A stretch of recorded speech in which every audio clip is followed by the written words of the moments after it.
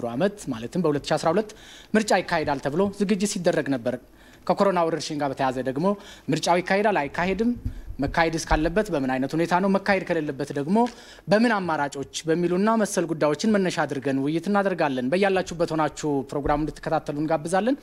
በዚህ ርዕሰ ጉዳይ ላይ ደግሞ ማብራሪያ የሚሰጡን እንግዶችን ጋብዘናል። እንግዶቻችንን ለማስተዋወቅ በቀኝ የሚገኙት አቶ የኔሁን ብርሌ በአዲስ አበባ ዩኒቨርሲቲ የሕግ መምህር ናቸው።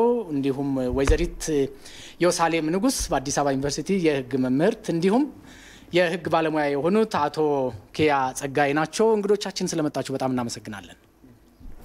ውይይታችን እስኪ ከእርሶ ልጀምር። የኔሁን በእርሶ ልጀምርና የኮሮና ወረርሽኝ በኢትዮጵያ ላይ እንግዲህ በዘርፈ ብዙ ገጾቹ ወይም በዘርፈ ብዙ መልክ ነው ተጽዕኖ አድርሷል የሚባለው እና እንዴት ያውታል? እስኪ እንደ አንድ ህግ ባለሙያ እንግዲህ ይህ ችግር ሀገራዊ ብቻ ሳይሆን ዓለም አቀፋዊ ችግር ነው። በተለያዩ የዓለም ክፍሎች የሚያደርሰውን ችግር በተለያየ ሚዲያዎች እንሰማለን። የማህበራዊ ኢኮኖሚያዊ እና የተለያዩ ችግሮችን በተለያዩ ሀገሮች አምልቷል። እኛም ሀገር በዚህ ወረርሽኝ ውስጥ ያለችና ለማጥፋትም ለማቆምም ለመቀነስም እየታገለች ያለች ሀገር እንደመሆኗ መጠን የተለያዩ ችግሮችን ለመቋቋም ሙከራ እያደረግን ነው። ከዛ ውስጥ ዛሬ ለውይይት የቀረብንበት ምርጫና ከምርጫ ጋር ተያይዞ ያሉ የመንግስትን ቀጣይነት፣ የህገ መንግስትን ቀጣይነት፣ የሀገርንም ቀጣይነት ውስጥ ጥያቄ ውስጥ የሚከት ነገር ገጥሞናል እና የዚህ ችግር በዚህ መልኩ ሊገለጽ የሚችል ነው። ኢየሩሳሌም ምን ይላሉ? እስኪ እሺ፣ አመሰግናለሁኝ። ያው የኮሮና ወረርሽኝ ዓለም አቀፍ ወረርሽኝ ነው። ኢትዮጵያም እንደ ዓለም አንድ ክፍል የወረርሽኙ ተጎጂ ናት። በተለይ ደግሞ ከኛ ሀገር ማህበራዊ አኗኗር ሁኔታ አንጻር የበሽታውን ስጋት የበለጠ ከፍ ያደርገዋል። የዓለም ጤና ድርጅትም የበሽታው ቀጣይ epicenter አፍሪካ ልትሆን ትችላለች የሚል ስጋት ያለው ትንበያ ነው ያለው። መንግስትና እንግዲህ ህብረተሰብ የሚቻለውን እያደረገ ነው። በእርግጥ የሚቀሩ ነገሮችም ቢኖሩ ስለዚህ በሽታው በዚህ ሁኔታ ነው ያለው። እስካሁን 131 በላይ ሰዎች ተይዘዋል በበሽታው ሶስት ሰው ዜጎቻችንን ደግሞ አተናል። ይህ በዚህ ሁኔታ ባለበት ወቅት ደግሞ የምርጫ ወቅት እየተቃረበ ነው። ይሄ ደግሞ የተለያዩ ህገ መንግስታዊ ክርክሮችን አስነስቷል። አቶ ኪያ እሺ፣ አመሰግናለሁ።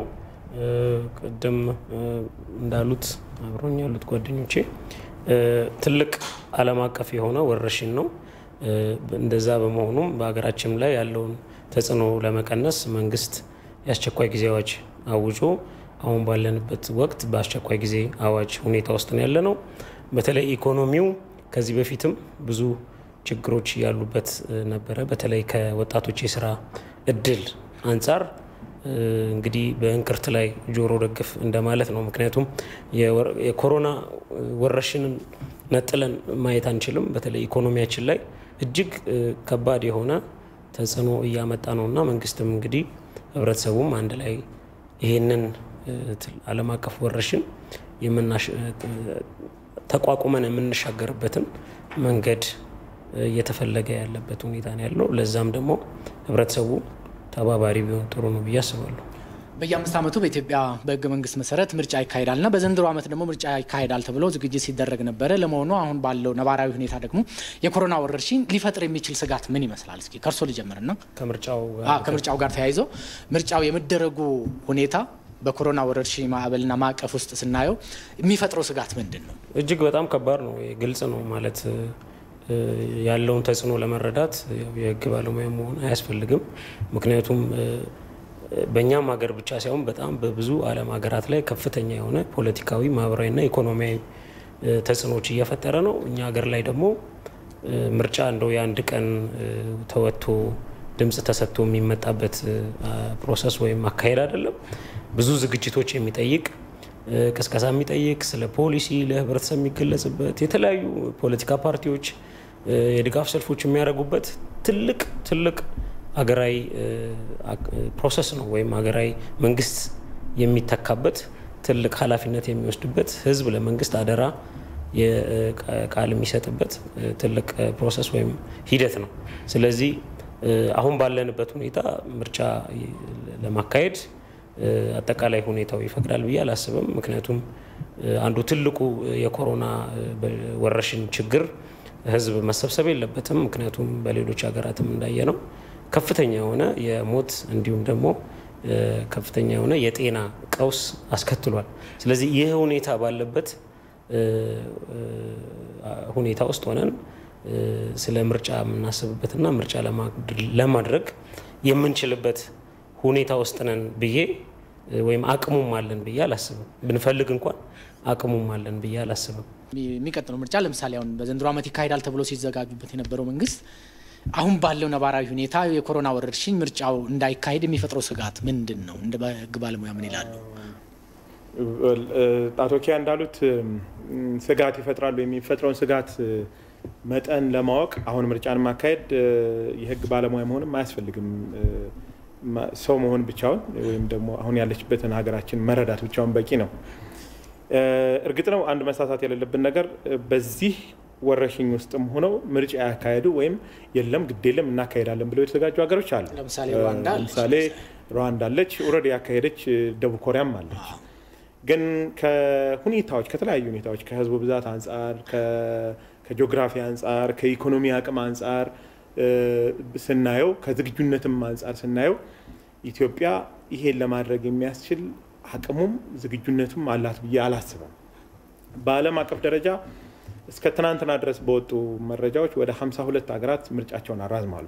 በዚህ አግባብ የምርጫዎቹ አይነት ይለያያሉ። አንዳንዶቹ የክልል አንዳንዶቹ የወረዳ የተለያዩ ሊሆኑ ይችላሉ። ግን ከነዚህ ውስጥ ወደ 17 የሚሆኑ ሀገራት አገር አቀፍ ምርጫ ጠቅላላ ምርጫቸውን ያራዘሙ ሀገራት ናቸው እና ይህ የምርጫን ማራዘም ከዚህ ወረርሽኝ ጋር ተያይዞ በኢትዮጵያ ላይ ብቻ የተፈጠረ ተአምር አይደለም፣ ተደርጓል። ወደፊትም ሊደረግ የሚችል ከዚህ በኋላም ሊራዘም የሚችልባቸው አግባብ ያለ በመሆኑ እንዲሁም ምርጫ አቶ ኪያ ቅድም እንዳሉት በአንድ ቀን ወጥቶ የሚመረጥም አይደለም ብለዋል። አንድ ቀን ወጥቶ የሚመረጥ ቢሆን አሁን ባለበት ሁኔታ ከባድ ነው። ስንት ሰው ነው የሚወጣው? ከአራት ሰው በላይ መሰብሰብ አራት ሰው በላይ አንድ ላይ መሆን አስቸጋሪ በሆነበት ሁኔታ ሁኔታዎች ከዚህ በተሻለ ሆነው እንኳን ምርጫ ለማካሄድ ያለንን ውስንነት የሚነሱን አከራካሪዎች ከዚህ በፊት አከራካሪ ነጥቦች የምናቅ በሙሉ በዚህ ሁኔታ ምርጫ ማካሄድ እጅግ እጅግ እጅግ ከባድ ማለት እንደው አይቻልም። extreme impossible ነው እንኳን ባንባል እጅግ በጣም አስቸጋሪ ነው እና በዚህ አግባብ ምርጫን ማካሄድ በጣም አስቸጋሪ ሁኔታ የሚፈጥር ይመስለኛል። ሀገር ኢየሩሳሌም ወደ እርስዎ ልምጣ። ለምሳሌ አሁን ይካሄድ እንኳ ቢባል በጣም አስቸጋሪ ሁኔታ ነው። እንደው ፈጽሞ መቶ በመቶ አይቻልም እንኳ ባይባልም ግን እናካሄድ እንኳ ቢባል በጣም አስቸጋሪ ነው የሚል አቶ ኪያ ደግሞ እንዳውም አቅሙም ዝግጅቱም የለም የሚል ነው እና ምን ይላሉ? ተጨማሪ ሀሳብ በተለይ በዚህ ስጋት ውስጥ ምርጫውን ማካሄድ የሚቻልበት አጋጣሚዎች ሳሉ ወይ አማራጮች ሳሉ ወይ የሚለውን እኔ እስኪ በመጀመሪያ መመልከት ያለብን የሚመስለኝ የበሽታውን ባህሪ ነው። የበሽታው ባህሪ ነው ምርጫን ለማካሄድ ወይም ሌሎች መሰባሰቦችን እንዳናደርግ የሚያግደን ያ ይመስለኛል። የበሽታው ባህሪ እና የሚተላለፍበት መንገድ ረቂቅነት ማለት ነው። ስለዚህ ምርጫ እንግዲህ በአንድ ሀገር ውስጥ ትልቅ ነገር ነው። በአምስት ዓመት አንዴ የሚደረግ ነው። ሕዝብ እጣ ፈንታውን የሚወስንበት ነው። እጅግ አስፈላጊ ነገር ነው። ይህም በመሆኑ ምክንያት ደግሞ የተለያዩ በየቅደም ተከተል የሚደረጉ ሂደቶች አሉ። ስለዚህ መራጮች መመዝገብ አለባቸው። ያ የመራጮች ምዝገባ ብዙ ሰዎችን የሚያሳትፍ ነው። ይሄ ደግሞ ለበሽታው ተጋላጭነትን በጣም ከፍ የሚያደርግ ነው። አሁን የዓለም ጤና ድርጅት እንዲሁም ሲዲሲ የአሜሪካው ሲዲሲ ባወጣው ጥናት አዲስ ጥናት መሰረት ከዚህ ቀደም አንድ በኮሮና ቫይረስ የተያዘ ሰው የማስተላለፍ እድሉ ለአራት ሰዎች ነበረ። አሁን ግን ያ ከፍ ብሎ አንድ ሰው ለስድስት ሰዎች የማስተላለፍ እድል አለው ማለት ነው። ስለዚህ ይህንን በምንመለከት ሰዓት የእኛን ሀገር ባህል፣ አኗኗር፣ አሰፋፈር በምንመለከት ሰዓት ምርጫን ማካሄድ ለህብረተሰብ ጤና ስጋት ይሆናል ማለት ነው። ምንም እንኳን አስፈላጊም ቢሆን ነገር ግን ሌላ ደግሞ የበለጠ አስፈላጊ ነገር አለ። እርሱም ደግሞ የህብረተሰብ ጤና ነው። አማራጮችስ ሊኖሩ ይችሉ ነበር? ለምሳሌ የሌሎች ሀገሮችን ተሞክሮ እግረ መንገድ ልናይ እንችል ነበር እና በዚህ ስጋት ውስጥ እንደው በዚህ ብናካሂደው ምርጫውን ብናካሂድ በዚህ አማራጭ ብንሄድ ችግሩን ልንቀንሰው እንችላለን ብለን የምናስብባቸው የመውጫ ስትራቴጂዎች ሊኖሩ ይችል ይሆን? እንደው ከእርሶ ልጀምር እስኪ። ምናልባት የቴክኖሎጂ አማራጮች ሊኖሩ ይችላሉ። ምርጫውን በተለያዩ የቴክኖሎጂ ዘዴዎች ሰዎች አካላዊ ቅርርብ ወይም ደግሞ በአካል ሳይገናኙ እንዲያደርጉ የሚያስችሉ ነገር ግን በመላ ሀገሪቱ ያንን ለማድረግ አንደኛ የኛ ሀገር ኢኮኖሚ ያንን የሚፈቅድ አይመስለኝም። ሁለተኛ ደግሞ እንግዲህ በጣም 120 ሚሊዮን ገደማ ከዛ የሚልቅ ህዝብ ነው ያለን። የተለያየ አይነት ህብረተሰብ ነው ያለን፣ የተማረ ያልተማረ። ስለዚህ ይህንን ለማካሄድ በጣም የሚያስቸግር ይመስለኛል። በቴክኖሎጂ የታገዘ ምርጫ እናደርግ እንኳን ብንል በእኛ ሀገር አቅም እንዲሁም ደግሞ በእኛ ሀገር ቴክኖሎጂ ጋራ ያለ familiarity ቴክኖሎጂን የመጠቀም ባህል ጋራ ስናነጻጽረው በጣም በጣም ከባድ ይመስላል። አቶ ኪያ አማራጮች ሊኖሩ ይችላሉ። ለምሳሌ በጣም አሳንሰን እንኳን ነው ቢባል እኔ በአጠቃላይ የለም ነው ማለት የእኛን ሀገር ነባራዊ ሁኔታ ግምት ውስጥ መክተት አለብን። እንኳን ምርጫ አይደለም እንግዲህ በጣም ቀላል የሆኑ የተለያዩ የኦንላይን ኮንፈረንሶችን ወይም ኢንተርኔትን መሰረት ያደረጉ የቴሌኮንፈረንሶችን ለማድረግ እንኳን በጣም ከባድ የሆነበት ሁኔታ ነው ያለው። ምክንያቱም የቴክኖሎጂ penetration ወይም እኛ ሀገር ያለው የቴክኖሎጂ የመጠቀም እና የመስፋፋት ተደራሽነት ወይም accessibility የሚባለው የለም ማለት እስቲ ከዋና ከተማ እኮ ወጣ ስትል ልም ያለ ገጠር ያለበት ህብረተሰብ ነው። በጣም በትንሹ ከ70 80 percent የሚሆነው የእኛ ሀገር ህዝብ በገጠር ነው የሚኖረው። ስለዚህ እንግዲህ የኢትዮጵያ ህዝብ ስንል ደግሞ ከተማ ውስጥ የሚኖረውን ብቻ ሳይሆን ገጠርም ያለውን ህብረተሰብ ነው። እንግዲህ ምርጫ ደግሞ ከተማ፣ ገጠር፣ ገሌ፣ ሃይማኖት፣ ብሔር፣ ጾታን መሰረት ያደረገ አይደለም። ሁሉም ሰው ለአቅመ ምርጫ የደረሰ ሰው መሳተፍ አለበት ነው የሚለው የምርጫ ህጉም። ስለዚህ ይህንን ከግምት ውስጥ ካስገባን አይቻልም። ይሄ ከአቅም በላይ የሆነ ነገር ነው እና እኔ እንዲህ በዚህ መንገድ ይቻላል ብለው ሊሉ የሚችሉ ሰዎች እንደው መንገዱን ቢጠቁሙ ጥሩ ነው እላለሁ። ምክንያቱም ያለንበት ነባራዊ ሁኔታ እንኳን ለአንድ እጅግ በጣም በኢኮኖሚ ወደኋላ ለቀረ ሀገር አይደለም ላደጉት ሀገራትም ከፍተኛ የሆነ ለሰለጠኑ ሀገራትም ከፍተኛ የሆነ ተግዳሮት ነው ይሄ ወረርሽኝ። ስለዚህ መጀመሪያ የሰው ህይወት ነው ምርጫ የሚኖረውም ሁሉም ነገር የሚኖረው መጀመሪያ የሰው ልጅ ወይም ህብረተሰቡ ጤናው ሲጠበቅ ነው። የሰው ልጅ በህይወት ሲኖር ነው። ስለዚህ ከዚህ በላይ ለአንድ ፖለቲከኛም ይሁን ወይም ዜጋ ከዚህ በላይ ሊያሳስበው የሚችል ጉዳይ አለ ብዬ አላስብም። እና already መንግስት በግልጽ በነበሩት ስብሰባዎች ፍላጎት ነበረው፣ እስከ ቅርብም ዝግጅት ነበረው። ለምርጫ ቦርድም ከፍተኛ የሆነ በጀት ታይቶ በማይታወቅ መልኩ የተፈቀደበት የራሱን office እንዲያደራጅ በሰው ኃይል ራሱን እንዲያደራጅ የተደረገበት ሁኔታ ነው። እና intention ኑ ወይም ይሄ ፍላጎቱን በግልጽ ያሳየበት ሁኔታ ነው ያለው እና ይሄ ነገር እንደ force majeure ነው ወይም ከአቅም በላይ ሁኔታ። ስለዚህ ይሄን ሁኔታ አንድ ላይ በቀናነት በመረዳዳት የምናልፈው ነው እንጂ በዚህ መንገድ ቢሆን በዚህ መንገድ ቢሆን የሚል ክርክር ውስጥ መግባት አስፈላጊ ነው ብዬ አላስብም። ወደ እርስ ልምጣቶ የኔውን አሁን አማራጮች አሉ ወይ? አማራጮቹን እኔ እንግዲህ የምክንያትነት አማራጭም ሊኖር ይችላል፣ የህግ ምክንያትም ሊኖር ይችላል። አማራጮቹን አይተን ነው እንግዲህ ምናልባት ይህን ፕሮግራም ለሚከታተሉትም ግንዛቤ መፍጠርም ስለሆነ የሌሎች ሀገሮችንም እግረ መንገዳችን ስለምናይ እንደው በዚህ መንገድ ቢኬድ እነዚህን ችግሮች መቀነስ እንችላለን፣ ግን ምርጫውን ማካሄድ እንችላለን የሚባልበት አጋጣሚ ሊኖር ይችላል። እንግዲህ ቅድም እንዳልኩት ምርጫውን ያካሄዱ ሀገሮች ወይም ለማካሄድ ዝግጁ የሆኑ ሀገሮች አሉ። እኛን የኢኮኖሚ አቅማችን የፖለቲካ ዝግጁነታችን እና ሌሎችንም ግምት ስናስገባ ከነዚህ ሀገራት ጋር ካለው ነባራዊ ሁኔታ አንጻር ከህዝብ ብዛት ከሁሉም ነገሮች አንጻር ስናየው የእኛ ትንሽ አስቸጋሪ የሚሆን ይመስለኛል። የቴክኖሎጂ አማራጭ የተባለው እምበል ለማለት ካልሆነ በስተቀር የሚሆን አይመስለኛል። ለምሳሌ አሁን እንግዲህ ምርጫ ሂደት ነው። አንድ ቀን ብቻ ካርድ ድምጽ ሰጥቶ መመለስ ብቻ ሳይሆን ሂደቶች አሉት ነው ከቅስቀሳ ምርጫ እስከ ቆጠራ ድረስ ምርጫ የምርጫ ወረዳዎችን ከመለየት ጀምሮ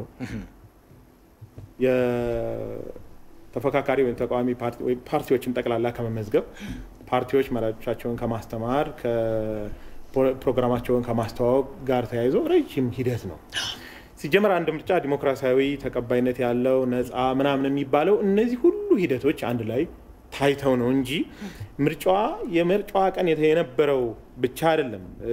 ከምርጫው በፊት የምንሰራው ስራ የምርጫው ቀን ወይም ጠቅላላ ምርጫውን ዲሞክራሲያዊ ነፃ ተቀባይነት ያለው ከማድረግ አንጻር ትልቅ ትልቅ እንትናል እንደምታ አለው።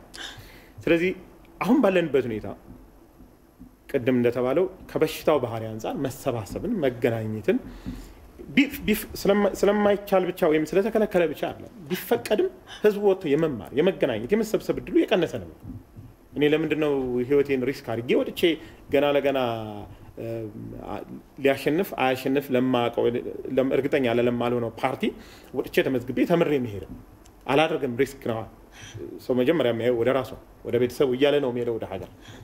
ስለዚህ ምርጫውን በጣም ተጨናንቀን እንኳን እርግጥ ነው ሀገራችንን አሁን የተጋረጠበት አደጋ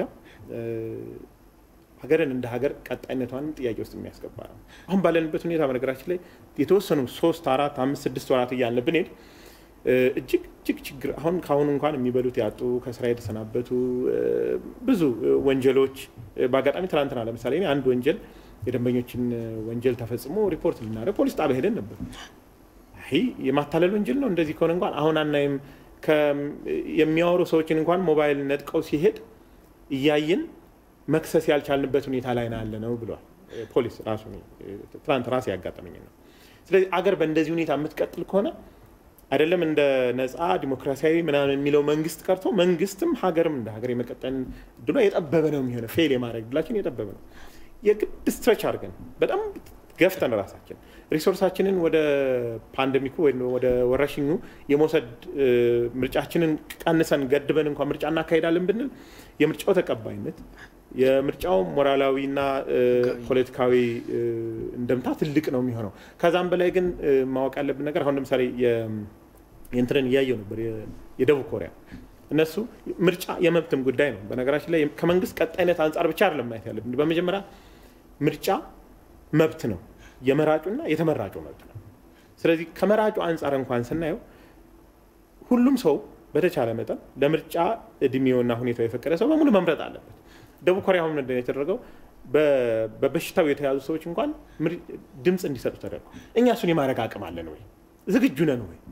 የት አካባቢ ነው ማድረግ የምንችለው? ያለውንና የሌለውን ለማወቅ የሚያስችለን የቴክኖሎጂ አቅም አለን ወይ? አሁን በየቀኑ አንድ ሺህ ምናምን ነው ቢበዛ የምንመረምረው እና በአንድ መቶ አስር ሚሊዮን ውስጥ በቀን አንድ ሺህ መመርመር ጅቡቲ እንኳን እዚህ አጠገባችን አንድ ሚሊዮን የማይሞላ ህዝብ ያላት ትበልጥናለች እና ጠቅላላ ከበሽታው ባህሪ አንጻር ካለን resource አንጻር ካለን ዝግጁነት አንጻር አሁን ባለው ሁኔታ እናድርግ ማለት ከተቀባይነትም ከመብትም አንጻር ትልቅ ችግር የሚፈጥር በመሆኑ አስቸጋሪ ይመስለኛል። ጥሩ ወደ ወይዘሪት ዮሳሌም ልምጣና በኢትዮጵያ በኢፌዴሪ ህገ መንግስት መሰረት ምርጫን የማካሄድ ኃላፊነት ያለው ስልጣንም ያለው ምርጫ ቦርድ ነው። አንዳንዶቹ ክልሎች ምርጫ መካሄድ አለበት ምርጫ እናካሄዳለን ብለው ነው ራሳችን ምርጫ ማካሄድ እንችላለን የሚሉ ይሰማሉ። እና ይህ ህገ መንግስታዊ ነው የሚለውን እኔ እስኪ የህገ መንግስቱ መሰረትም የህጋዊነት መሰረትም የምክንያት መሰረትነትም እንዳለው እስኪ ይቻላል ወይ ከምርጫ ቦርድ እውቅና ውጭ ክልሎች በራሳቸው ምርጫ ማካሄድ ይችላሉ ወይ የሚለውን እስኪ እንግዲህ ኢትዮጵያ ፌዴራላዊት ሀገር ናት። ስለዚህ የፌዴራል መንግስት አለ፣ የክልል መንግስታት አሉ። የየራሳቸው ስልጣን፣ ኃላፊነት፣ ድርሻ ክፍፍል አላቸው ማለት ነው። ስለዚህ የፌዴራሉ መንግስት ስልጣን የሆኑ ጉዳዮች አሉ። የክልል መንግስታት ደግሞ ራሳቸውን በራሳቸው ሲያስተዳድሩ ደግሞ ያሏቸው ስልጣኖች አሉ።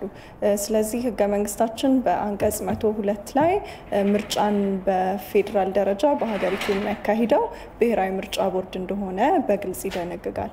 ስለዚህ እዚህ ላይ ግልጽ ድንጋጌ ነው። የፌዴራል መንግስት ነው በምርጫ ቦርድ በኩል በሀገሪቱ ምርጫን የሚያካሂደው። አቶ ጊያ ምን ማለት ነው? እናካሂዳለን ብለዋል። ምን ማለት ነው? ይቻላል ወይ የሚለውን እኔ እስኪ እንግዲህ በመጀመሪያ አይቻልም። ቅድም እህቴ እንዳለችው የምርጫ በተለይ ብሔራዊ ምርጫ የብሔራዊ የፌዴራል መንግስቱ ስልጣን ነው አንደኛ ሁለተኛ ያለንበት የ state of emergency ወይም የአስቸኳይ ጊዜ ሁኔታ ውስጥ ነን ያለ ነው። በፌዴራል መንግስት ደረጃ አስቸኳይ ጊዜ አዋጅ ታውጇል። ይሄ ማለት የመምረጥና የመመረጥ መብቶች ሁሉ ለጊዜው ይሄ ወረርሽኝ በሚኖርበት ሰዓት ተገድቧል ማለት ነው። በፌዴራል መንግስቱ የታወጀው የአስቸኳይ ጊዜ አዋጅ ተፈጻሚነቱ በሁሉም ክልሎች በፌዴራል መንግስቱ ሆነ በክልሎች ባሉ አጠቃላይ በዘጠኙም ክልሎች እና በሁለቱ ከተማ አስተዳደሮች ነው። ያ ማለት ምርጫ እናካሂዳለን በሚሉት ክልል ውስጥም በፌዴራል መንግስት የታወጀው የአስቸኳይ ጊዜ አዋጅ ተግባራዊ ነው ማለት ነው። ራሳቸው ያወጁት በክልላቸው ያወጁት የአስቸኳይ ጊዜ አዋጅ ራሱ ይህን የሚገድብ ነው።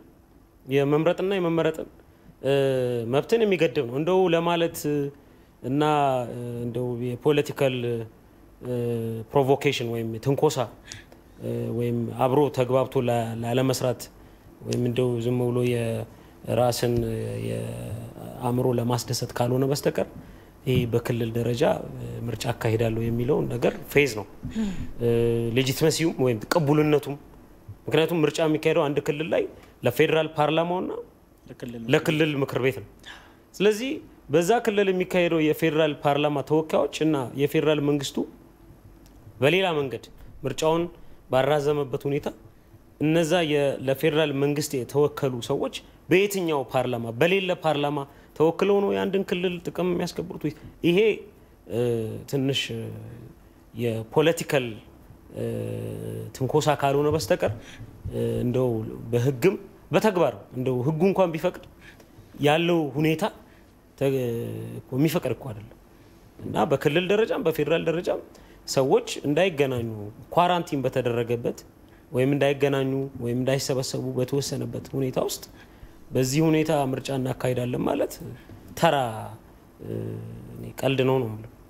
አቶ የኔሁን ምን ይላሉ? እንደው ምንድን ነው እንድምታው ከእንድምታውም ከሀሳቡ ይዘትም ጭምር ህገ መንግስታዊ መሰረትነቱንም በደንብ ብናየው ብዬ ነው። ይህን ውይይትም የማየው እኔ አሁን ያለንበትም ሁኔታ የማየው በዚህ ማዕቀፍ በሚከተለው ማዕቀፍ ውስጥ ነው። አገርን ከዚህ ወረርሽኝ መታደግ ህዝብን ከዚህ ወረርሽኝ መታደግ ከፖለቲካ ፓርቲዎች ሽኩቻና የብሽሽቅ ሁኔታ ያለፈ ነው። እነዚህ የፖለቲካ ፓርቲዎች ነገ ሊሞቱ ሊጠፉ ይችላሉ። ሌላ ፓርቲ ይመጣል። እንደዚህ እያለ ይቀጥላል። ሀገር እስካለች ድረስ አገር ይቀጥላል። ይህ የሚሆነው ግን ሀገር ስቀጥል ነው። ስለዚህ ከዚህ በፊት የነበሩ ቁርሾዎችም አለመግባባቶችም በዚህ ሁኔታ ያለውን መንግስት የማሳጣት ወይም ደግሞ ክልሎች ላይ ጫና የመፍጠር ሁኔታዎች ብንቆጠብ የሚል አስተያየት አለኝ። ከዚህ ባለፈ ይሄ ጠቅላላ ነገር ሆኖ ከዚህ ባለፈ ተግባራዊነቱን ስንመጣ በክልል ደረጃ እንግዲህ ቅድም እንደተባለው ሀገር በፌዴራል arrangement የተዋቀረች ሀገር ነች። ስለዚህ ክልል የራሱ ስልጣን አለው፣ ፌዴራልም የራሱ ስልጣን አለው። በአንቀጽ 55 ማነው በአንቀጽ 15 አካባቢ ንዑስ አንቀጽ 15 አካባቢ የምርጫ ህጉን የማውጣት የወጣውንም የማስፈጸም የማስተዳደር ስልጣን የፌዴራል መንግስቱ አለፍ ሲልም የምርጫ ቦርድ ነው። ስለዚህ ይህ ባለበት ሁኔታ ይችላሉ የሚለውን I think ለመወሰን በጣም ቀላል ይመስለኛል። ይህ ባለበት ሁኔታ ከዛ በተጨማሪ ግን ህጉ እንኳን ይፈቅዳል ቢባል ዝግጁነት አለ ወይ? የህግ ዝግጁነት አለ ወይ? የአቅም ዝግጁነት አለ ወይ የሚለው እንዲሁ ለዛ ነው እኔ ከብሽሽቅና ከነቆራ ፖለቲካ መውጣት መቻል አለብን። ቢያንስ በሌላው ጊዜ relatively ሰላም አለበት በተባለው ጊዜ ፖለቲካ ውስጥ መናቆርና መጨቃጨቅ አይቀርም ይሆናል። አሁን ግን ጊዜው አይደለም። ከዛ መውጣት መቻል አለብን። ከዛ ወጥተን በሀገር ደረጃ የጋራ የምንለው አሁን እንኳን የጋራ የምንለው ነገር ባለበት ጊዜ እንኳን at least መስማማት ብንችል የተሻለ ነው ብዬ አስባለሁ። ክርክሩ፣ ጭቅጭቁ ከጭቅጭቅ ከክርክር ጥሩ ነገር ይመጣል የሚል ነው የዲሞክራሲ ዋና ዓላማ። እሱን እንደርስበታለን። አሁን ግን at least የጋራ የሆነ ጠላታችንን ልክ ከዚህ በፊት እንደነበረው ታሪካችን የጋራ ይሄ ወረራ እኮ ነው። ይሄ ጦርነት ነው invisible መሆኑ ነው እንጂ ጠላቱ እንደውም invisible አለመታየቱ ይበልጥ ጦርነቱን ያከብደዋል እንጂ ጦርነት ላይ ነው ጦርነት ላይ ሆነን ምርጫን እናካሄድ ማለት ለጦርነቱ ቀድሞ እንደመሸነፍ ነው። እና እዚህ ላይ ትንሽ ሰከን ተብሎ ቢታሰብ ባይ ነኝ በህግም በዝግጁነቱም በተግባራዊነቱም የሚቻል አይመስለኝም። እንደኔ እንደኔ አቶ ክያ ወደ እርሶ ልመለስ። እስኪ በተለይ አሁን አቶ የኔሁን በተናገሩትም ላይ ተጨማሪ ሀሳብ ካሉት እነዚህ አሁን ኢትዮጵያ በማይታይ ጦርነት ውስጥ ነው ያለችው ዓለምም ጭምርና የማይታይ ጦርነት ወይም ደግሞ ሰደድ እሳት ነው። ሰደድ እሳት ውስጥ አገር እያለች ህዝብም እያለ እዚህ የነቆራ ፖለቲካ ብዙም አይጠቅምም፣ ህገ መንግስቱንም በደንብ ማየት አለብን ነው የሚሉትና ተጨማሪ ሀሳብ ካሉት ለእርሶም ለወይዘሪት ዮሳሌም እሰጣለሁና እስኪ ቀጥሉ። እንደተባለው ጊዜው አይደለም። አሁን የፖለቲካ ሽኩቻ ወይም ደግሞ የፖለቲካ ፉክክር የምናደርግበት ወቅት አለ። እንዲሁም ደግሞ አንድ አገራዊ ሁኔታ ሲከሰት by the way የዚህ የወረርሽኙ ጉዳይ ብቻ አይደለም። ኢትዮጵያ እንደ state እንደ ሀገር ብዙ የገጠሟት ፈተናዎች አሉ። ለምሳሌ አንዱ የአባይ ግድብ ወይም የናይል ፖለቲካ አለ። እሱን እንደ ሀገር አንድ ሆነን ጠንክረን የምንቋቋምበት ሁኔታ መፈጠር አለበት። በተለይ ኢኮኖሚው ደግሞ ወረርሽኙ ራሱ ሳይመጣ ኢኮኖሚው ራሱ ከፍተኛ የሆነ ምክንያቱም ባለፉት አምስት ዓመታት ውስጥ የነበረው ሁኔታ የምናውቀው ነው። ስለዚህ ይሄን አገግመን ለሚሊዮን ለሚሆኑ ለሚመረቁ ወጣቶች ስራ የምንፈጥርበት በኢኮኖሚያችን የተሻለ የሚያድግበት ሁኔታን መቀየስ ያለብን እና specifically ደግሞ ከዚህ ጋር ስንመጣ ከዚህ የፖለቲካ ሽኩቻ መውጣት አለብን። አንዳንዴ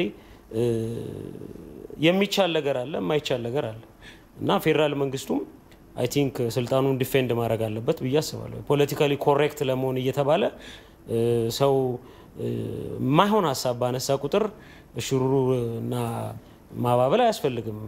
assertive ሆኖ no ይሄ ስልጣን የኔ ነው፣ ይሄ ስልጣን ያንተ ነው የሚለውን ነገር ላይ አንዳንዴ ምክንያቱም precedent እየሆኑ ነገሮች በቸልታ እየታለፉ ሌሎች ሌሎች ነገ ሌላ አንዱን ክልል አንዱ የታጠቀ ኃይል ይዞ ካሁን በኋላ ወጥቻለሁ የሚልበት ሁኔታም ሊከሰት ይችላል። ስለዚህ መንግስት ስልጣኑን ፌዴራል መንግስቱም ሆነ ክልሎች ክልሎች ስልጣናቸውን ማወቅና ገደባቸውን ማወቅ ያስፈልጋል። በህገ መንግስቱ በጣም ብዙ የተሰጣቸው ስልጣን አለ። በዛ መሰረት ለምሳሌ ወረርሽኝ ሲነሳ ክልሎች አስቸኳይ ጊዜ አዋጅ በክልላቸው ማወጅ ይችላሉ። ህጋዊ ነው፣ ህገ መንግስታዊ ነው፣ ችግር የለውም። ግን ሌሎች ሌሎች ነገር ላይ እየታወቁ እንኳን የህግ ባለሙያ አይደለም ወይም ህግ አውጪ አንድ ተራ ሰው ሊያውቀው የሚችለውን በዓለምም እንግዲህ የዓለምን የፌዴራሊዝም ስርዓትም ካያን ይሄ ሁኔታ ያለ ነገር ነው እና ፌዴራል መንግስቱ ስልጣኑ ሲሸረሸርና እና በጠራራ ፀሐይ ሰዎች ያንን ስልጣን ሊሸረሽሩ የሚችሉ ድርጊቶች አሁን ንግግር ወደ ተግባር ይሄዳል፣ ቃል ወደ ተግባር ነው የሚሄደው። ስለዚህ እዛ ላይ seriously ከተቻለ በምክክር ቁጭ ብሎ no no no እኔ ጥሩ አይደለም በዚህ ብንሄድ ጥሩ ነው ብሎ በምክክር መፍትሄ መስጠት ያስፈልጋል ማለት ነው ምክንያታዊ ሆነው እንደዛ ካልሆነ ደግሞ እንግዲህ መንግስት የራሱን ስልጣን ለማስከበር እንኳን ከትልቅ ቡድን ጋር አይደለም ከግለሰብም ጋር ትንቅንቅ ውስጥ ይገባል። ስለዚህ እዛ ላይ serious መሆን ያስፈልጋል። ገደብ አለ። እያንዳንዱ ነገር ልጓም አለው፣ limit አለው እና ግለሰቦች፣ ቡድኖች ምን ያህል መሄድ እንዳለባቸው ሳያውቁ ሲቀሩ በምክር ከተቻለ፣ ካልሆነ ደግሞ እንግዲህ በህግ ስልጣኑን ማስከበር አለበት ብዬ አስባለሁ። ምርጫ የማይካሄድ ከሆነ የሽግግር መንግስት መቋቋም አለበት የሚሉ አካላትም ደግሞ አሉ። እነዚህ መነሻ ምክንያታቸው ምንድን ነው የሚለውን የመጀመሪያ እናያለን። ቀጥሎ ሽግግር መንግስት መቼ ነው መካሄድ ያለበት፣ ከማን ጋርስ ደግሞ መካሄድ አለበት፣ ለምንስ አስፈለገ የሚለውን ነገር እናያለን እና መነሻ ሀሳባቸውን ዝም ብለን እንመርምር እስኪ። ከህጉም አንጻር እንየው እንደ መነሻ ምክንያታቸው ካላቸው አሁን እንግዲህ ወደዚህ ውይይት የሚያመጣን አንድ ነባራዊ ሁኔታ አለ። ዓለም አቀፍ ብሎም ወደ እኛ ስንመጣ ሀገር አቀፍ የሆነ ቅድም እንዳልኩት ጦርነት ውስጥ ነን። I think በዚህ ቢገለጽ ነው የተሻለ የሚሆነው። የችግሩ ግዝፈት በደንብ የተረዳ ነው የመሰለኝ ስላልሆነ ነው። በዚህ ጦርነት ውስጥ ደግሞ እንዳለመታደል ሆኖ ልበለው የተወካዮች ምክር ቤት የስልጣን ዘመን መስከረም ላይ ያበቃል። የመስከረም የመጨረሻው ሰኞ ነው አዲሱ የሚጀምረው። ስለዚህ የመጨረሻው ሰኞ የመጨረሻው እሁድ ማለት ነው እንግዲህ ስለዚህ ይህ ባለበት ሁኔታ ምርጫውን ነሐሴ ላይ ለማካሄድ ሀሳብ ነበረው የምርጫ ቦርድ። መንግስትም I think በተለያዩ ጊዜያት ከዚህ ከ political merger ም ጋር ተያይዘው የሚነሱ ጥያቄዎች ስለነበሩ እሱን እነሱን ጥያቄዎች ለመመለስ ወይም ደግሞ ከሱ የተሻለ ሌላ ፓርቲ ካለ እንዲመራ ቢያንስ በንድፍ ሀሳብ ደረጃ እንደዛ ነው የማየው ለማስቻል ምርጫውን ለማካሄድ ዝግጁ ነበረ። ግን እንግዲህ አሁን ባለንበት ሁኔታ ይሄ ችግር መጣ፣ ይሄ ጦርነት መጣ፣ ይሄ በሽታ መጣ፣ ማካሄድ አልቻለም። የተወካዮች ምክር ቤት ስልጣኑ በህገ መንግስቱ እንደተቀመጠው አምስት ዓመት ነው። የፌዴሬሽን ምክር ቤትም እንደዚሁ የጠቅላይ ሚኒስትሩም ስልጣን ከነሱ ጋር አብሮ የሚሄድ ነው። ስለዚህ ከመስከረም በኋላ ፕሮባብሊ አሁን ያለው መንግስት በህጉ መሰረት እንደገና ካልተመረጠ በስተቀር አይቀጥልም። ስለዚህ ይህ ባለበት ሁኔታ አስቸኳይ ጊዜ አዋጅ ውስጥ ነን፣ ችግር ውስጥ ነን። ስለዚህ ምርጫውን ማካሄድ አንችልም የሚል መደምደሚያ ላይ ተደረሰ። ጥሩ ይህ በተደረሰበት ሁኔታ አሁን ጥያቄው ምርጫን ማካሄድ አንችልም የሚለው ውሳኔ በህገ መንግስቱ መሰረት ምርጫን በምን ሁኔታ ማራዘም ይቻላል? አገሪቱ መንግስት አልባ ሆና እንዳትቀጥል እንደ ሀገር እንድትቀጥል ምን አይነት መንግስት ያስፈልገናል? ያለው መንግስት ይቀጥል ወይስ ሌላ አማራጭ አለን የሚለው ነው። ይሄ ነው የውይይታችን መነሻ። አሁን አንዳንድ ወገኖች የሚያነሱት ምንድነው የሽግግር መንግስት ያስፈልገናል። ከአንድ እንግዲህ የሽግግር መንግስት ከዚህ በፊት እንዳየነው መንግስቱ የደርግ ደርግ በመጣ ጊዜ ረዥም ጊዜ የቆየው የእኛ ሀገር የሽግግር ሲጀመር እኛ ሀገር ሽግግር የሚለውንም በደንብ የተገነዘበው አይመስለኝም። ረዥም ጊዜ ነው የቆየው። እንደውም የሽግግር ከምንለው ዝም ብለን መንግስት ብንለው የተባሉ ሰዎችም ችግር ውስጥ የገቡበትን ጊዜ እናስታውሳለን በደርግ ዘመን። ከዛ በኋላ የኢህአዴግ መንግስትን በሚመጣበት ጊዜ እንዲሁ የሽግግር መንግስት ሆኗል። ስለዚህ በዋነኝነት የሽግግር መንግስት at least በዚህ ሀገር ሁኔታ ስናየው አንድ የፖለቲካ ለውጥ በሚመጣበት ጊዜ ምርጫ ተካሂዶ ዲሞክራሲያዊ ተቀባይነት ያለው ምርጫ በህገ መንግስቱ መሰረት ህገ መንግስትም ተረቆ እስከሚካሄድ ድረስ ወደሚቀጥለው ወደምንፈልገው ሁኔታ የሚያሻግረን መንግስት ምክንያቱም አገር ወደዛም ለመሻገር የግድ ስርዓት ህግ ስለሚያስፈልግን አሻጋሪ ከቋንቋው የምንረዳው አሻጋሪ ነው፣ ጊዜያዊ ነው። ስለዚህ በዚህ- ሁኔታ ነው የሽግግር መንግስት በዚህም ሀገር በሌሎችም ሀገሮች የሚያስፈልገው። የሽግግር መንግስት አሁን ባለንበት ሁኔታ ያስፈልጋል ወይ? ምናልባት ሊያስፈልግ ይችል ይሆን ይሆናል አላውቅም። ግን ትልቁ ችግር ምንድን ነው? አሁን ባለንበት ሁኔታ ምክንያቱም የሽግግር መንግስት ሲባል ያለው መንግስት ራሱን የሽግግር መንግስት ነኝ ብሎ እንዲ- እንዲናገር ወይም ደግሞ እንዲሰይም አይደለም። ሌሎች ተፎካካሪ የፖለቲካ ኃይሎች መጥተው ተደራድረው ለሀገሪቱ አማካይ ሁኔታ ይሄ ነው፣ ስለዚህ በዚህ መንገድ እንሻገርና ከዛ በኋላ ግልጽ በሆነ ፉክክር አንዳችን ወይም ደግሞ አንድ ላይ በ- በቅንጅት እንምራ የሚለውን ለመድረስ ነው። አንደኛ ያለንበት ነባራዊ ይፈቅዳል ወይ ነባራዊ ሁኔታችን ይህን የሽግግር መንግስት ለማካሄድ። ሁለተኛ ያሉን የፖለቲካ ዋልታ ረገጥ ፖለቲካ ነው እዚህ ሀገር ያለው። ባለፉት ሁለት ሶስት ዓመታት እንዲህ ነገር ለመቀየር ሙከራ ተደርጎ ነበር። ምን ያህል ተሳክቶልናል እርግጠኛ አይደለም። ከተለያዩ ምንድነው terrorist ተብለው በፓርላማው የተሰየሙ የተፈረጁትን ሁሉ አምጥተን እስኪ እንደው እንነጋገር እና ለውጥ የሚመጣ እንደሆን ተብሎ ነበር። I think መልሰን ወደ status quo ወደ ነበርንበት እየተመለስን ይመስለኛል። business as usual እየሆነ ነው አሁን ያለው ሁኔታ። ስለዚህ በዚህ ዋልካ- ዋልታ ረገጥ ፖለቲካችን ላይ እስከ መስከረም ባለው ሁኔታ በዚህ ሁለት ሶስት ወር ውስጥ ተገናኝተው ተነጋግሮ እ፣ ወደየት ተ- በነገራችን ላይ የሽግግር መንግስት ሲባል ተሻግረን የት ነው የምንደርሰው የሚለውም ላይ የተወሰነ መግባባት ያስፈልጋል። መሀል ላይ የሆነ ችግር አለ ማለት ነው። እሱን ተሻግረን መድረሻችን ምንድን ነው የሚለውንም ራሱ መነጋገር፣ መግባባት ማን እነማን በሽግግር መንግስት ውስጥ መሳተፍ አለባቸው፣ በምን ያህል መጠን የሚለውንም መነጋገርና መግባባት ያስፈልጋል። አሁን ያለን የፖለቲካ ዝግጁነት፣ አሁን ያሉን የፖለቲካ ፓርቲዎች፣ አሁን ያለን resource፣ አሁን ያለን ነባራዊ ሁኔታ ይሄን ይፈቅዳሉ የሚለው ትንሽ ለእኔ ጥያቄ ውስጥ የሚከት ነው የሚመስለው። መነሻ ምክንያታቸውን እኔ እስኪ ይቻላል አይቻልም በኋላ እንመጣበታለን። አቶ ኪያ ምን ይላል? መነሻ ምክንያታቸው እኔ ባጭሩ እኔ ስልጣን ላይ ካልወጣው ወይም የፖለቲካ ስልጣን ከያዝኩ ህገ መንግስታዊ ይሆናል። እኔ ወደ ስልጣንና የመንግስት ስልጣን እማልመጣ ከሆነ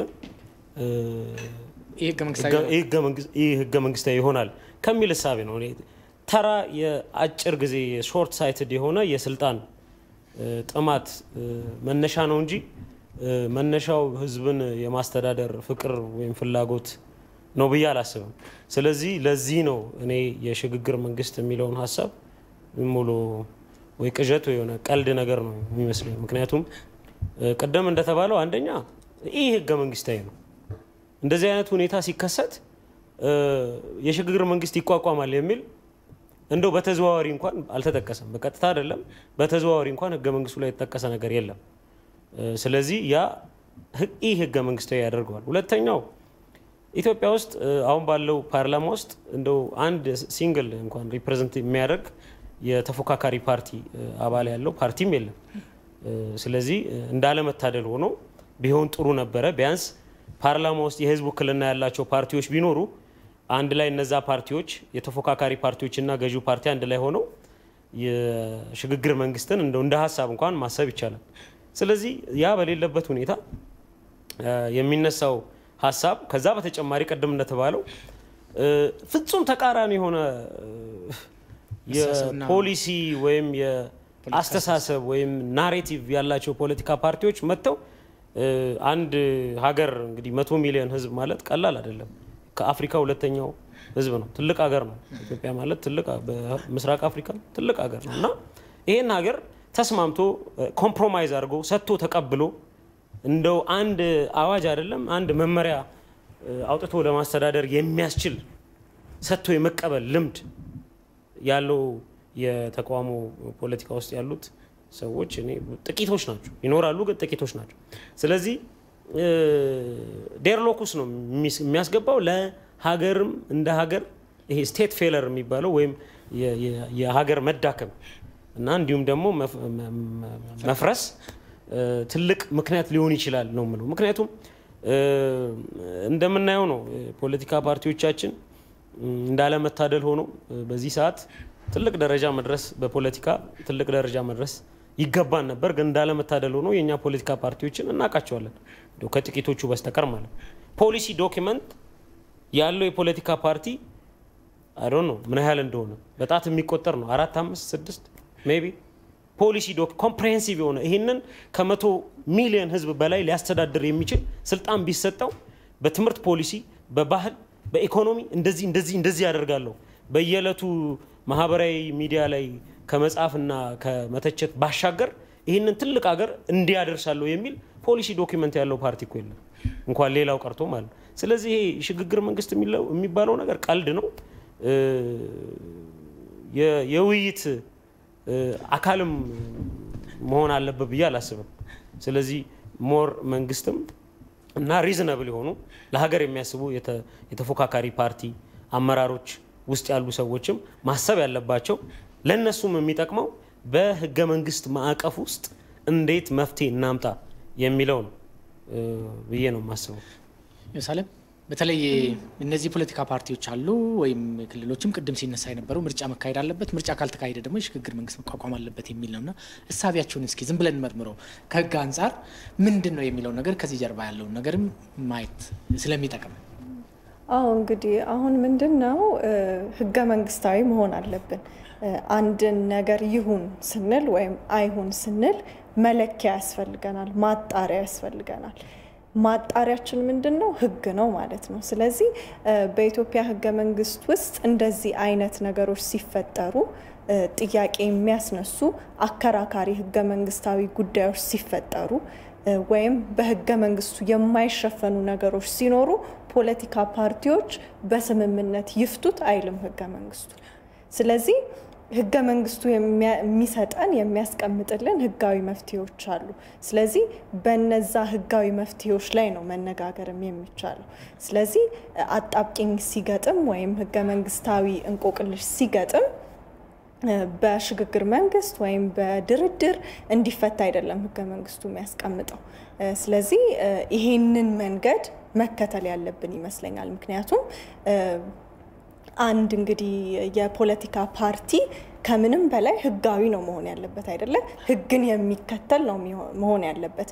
ነገ ከነገ ወዲያ ገዥውን ፓርቲ ሆኑ ተፎካካሪ ፓርቲዎች በምርጫ ስልጣን ቢይዙ በህግ ነው ሀገር የሚተዳደረው። ስለዚህ በሁሉም ነገር ላይ ከምርጫ በፊትም ህጋዊና ህገ መንግስታዊ ሊሆኑ ይገባል ማለት ነው። ስለዚህ ህገ መንግስቱ እንደዚህ አይነት የሽግግር መንግስት ወይም ደግሞ የፖለቲካ ስምምነት ወይም ድርድር ባላስቀመጠበት ሁኔታ እንደዚህ አይነት ሀሳቦች ህጋዊ ተቀባይነት ያላቸው አይደሉም ማለት ነው።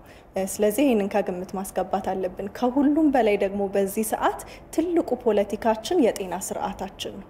ምክንያቱም የጤና ስርዓታችንን አደጋ ላይ የሚጥል ወረርሽኝ ላይ ነው ያለ ነው። እንደተገለጸው ቅድም የማይታይ ጦርነት ውስጥ ነው ያለ ነው። ስለዚህ ጦር ቀጠና ውስጥ ሆነን በጥንቃቄ ነው መጓዝ ያለብን ማለት ነው።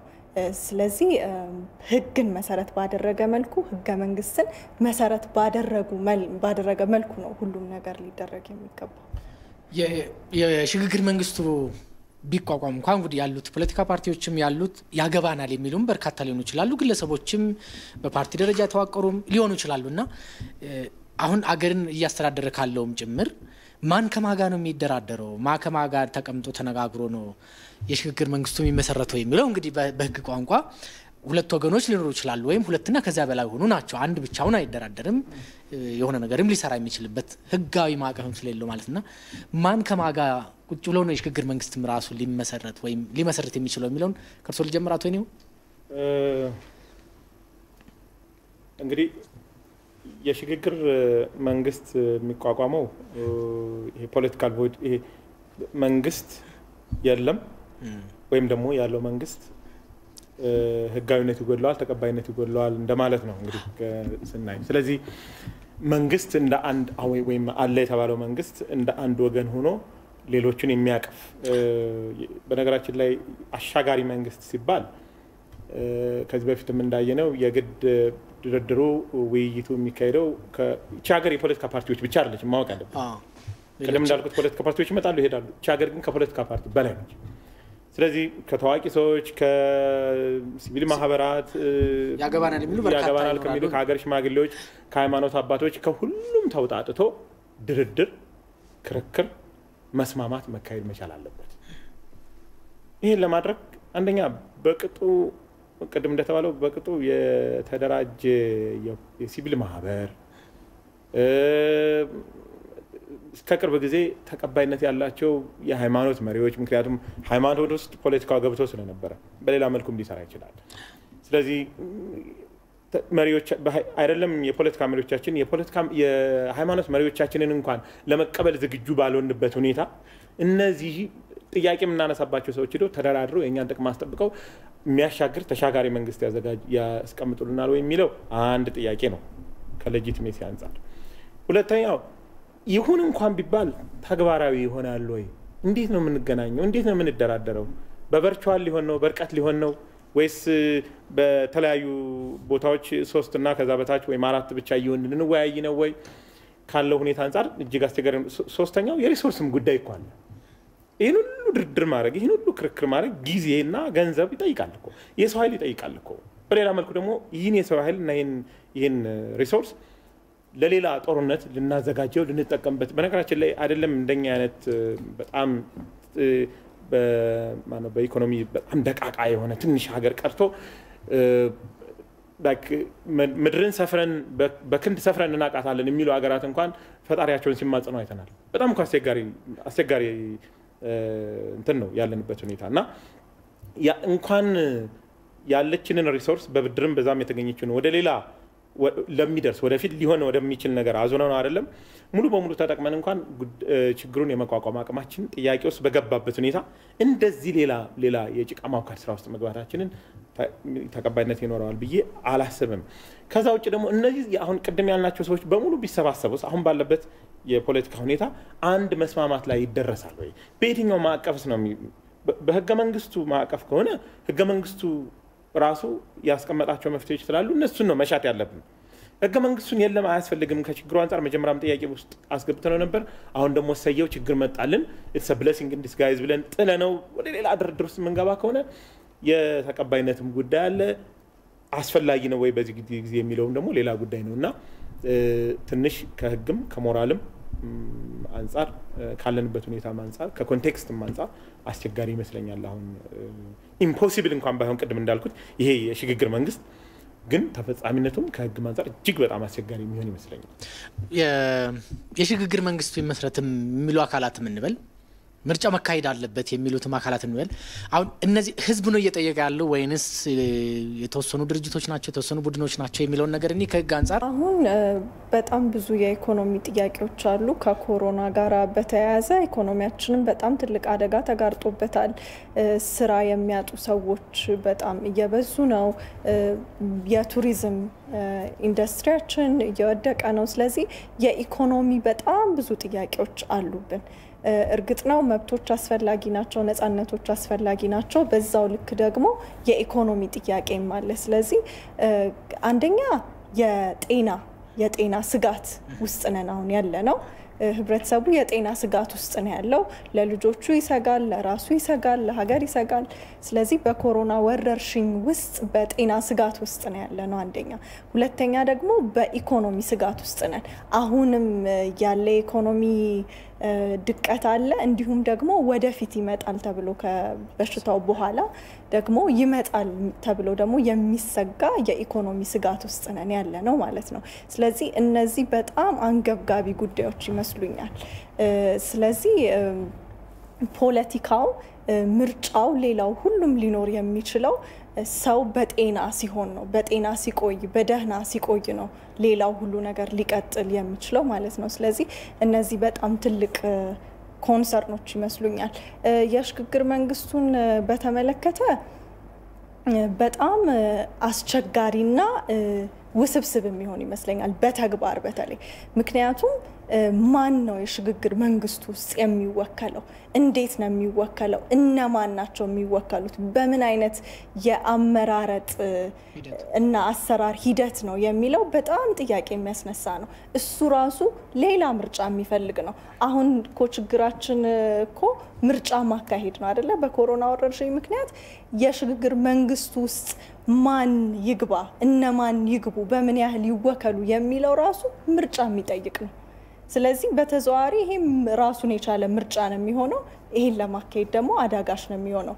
ከህግና ህገ መንግስታዊ ነገሩ ራሱ ወጥተን ተግባራዊነቱን ስንመለከት ይሄ በጣም አስቸጋሪ ይመስለኛል። አቶ ኪያ እነማን ናቸው እየተናገሩ ያሉት የሚለውን ነገር ብናየው ጥሩ ነው። ሁለተኛ ደግሞ የሽግግር መንግስቱ ማን ከማን ጋ ነው እንዴት ባለው የህግ modality የሚለውን ነገር ህገ መንግስታዊ modality ውንም ማየት ስላለብን ይቀጥሉ።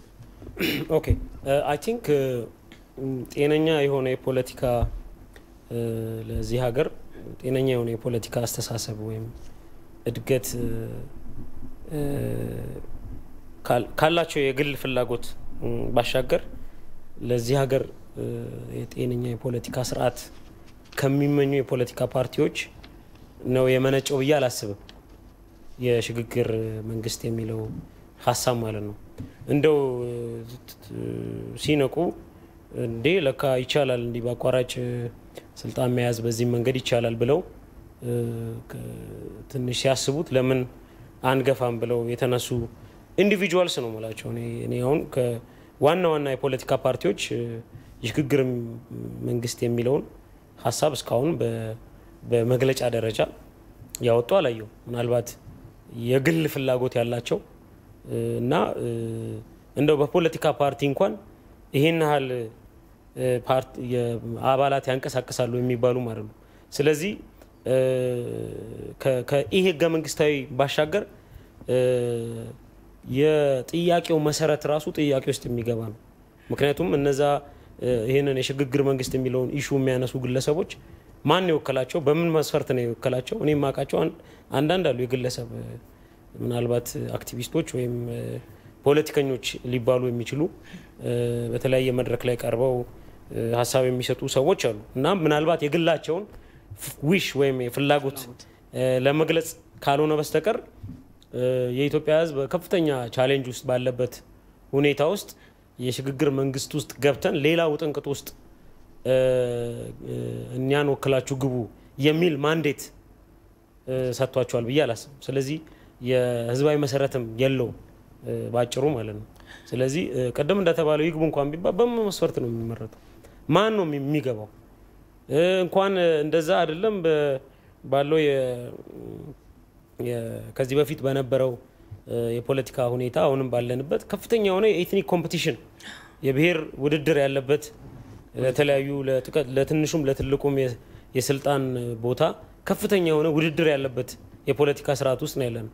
በዛ ላይ ደግሞ ምን ያህል አባል እንዳላቸው ወይም ምን ያህል ጠንካራ መሆናቸው ምን ያህል substance የሆነ document እንዳላቸው የማይታወቁ ፓርቲዎችን በለው ወይም ግለሰቦች በምን መስፈርት አስገ ሌላ ውጥንቅጥ ውስጥ ነው ይሄ እንደውም ለሀገራችን ለሀገር ውስጥም ለውጭም ጠላት ነው የሚያጋልጠን። ምክንያቱም ኢትዮጵያ እንደ ሀገር ዛሬ በሀገር ውስጥም በውጭም የመንግስት አይደለም የመንግስት ተፎካካሪ አይደለም ኢትዮጵያን እንደ ስቴት እንደ ሀገር አደጋ ላይ የሚጥሉ በጣም ብዙ ሁኔታዎች አሉ።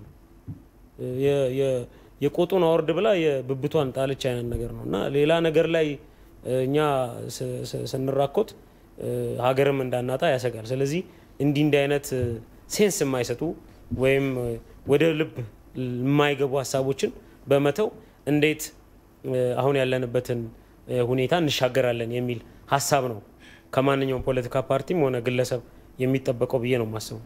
የአፍሪካ ህብረት መመስረቻ ወይም Constitutive Act የምንለው ማንኛውም ስልጣን በአፍሪካ ሀገር በአፍሪካ አህጉር ውስጥ ስልጣን በህገ መንግስት ስርዓት ብቻ ነው መያዝ ያለበት የሚል ነው እና የኢፌዴሪ ህገ መንግስትም ምርጫ መካሄድ አለበት። በየአምስት ዓመቱ ምርጫዎቹ ተካሂደው በምርጫ ያሸነፈው ነው ስልጣን መያዝ ያለበት ነው የሚለው እና ከዚህ ውጭስ አማራጮች ሊኖሩ ይችላሉ። ስልጣን የሚያዝበት የሽግግር መንግስቱ መንገዱ ዝግ ከሆነ ህገ መንግስታዊ መሰረትም ከሌለው የመውጫ ስትራቴጂም ህገ መንግስቱ ካላስቀመጠ ምናልባት ከህገ መንግስቱ ከሚደነግገው ከምርጫ ውጭ ስልጣንስ መያዝ ይቻላል?